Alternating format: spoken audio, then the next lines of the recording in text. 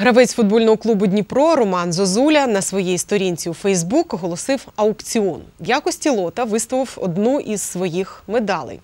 Нагороду футболіст отримав у фіналі Ліги Європи у матчі проти Севільї. Тоді, до речі, українці поступилися іспанцям із рахунком 2-3. Благодійний аукціон від Зозулі триватиме до останньої хвилини року, що минає до 31 грудня.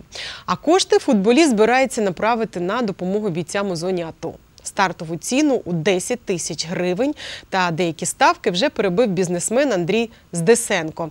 Він запропонував за медаль одразу 200 тисяч гривень.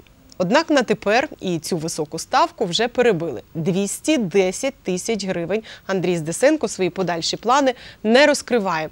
А у розмірі своєї ставки він відштовхується від внутрішнього відчуття. Про це і сказав нашому журналісту телефоном. Внутренняя цифра, потому что это не единственное на- направление, по которым э, я помогаю, мы помогаем.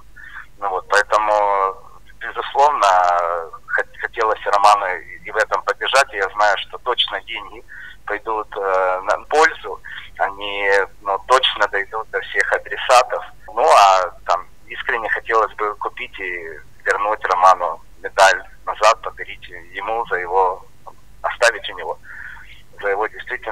совершил мужской поступок. Для спортсмена это достижение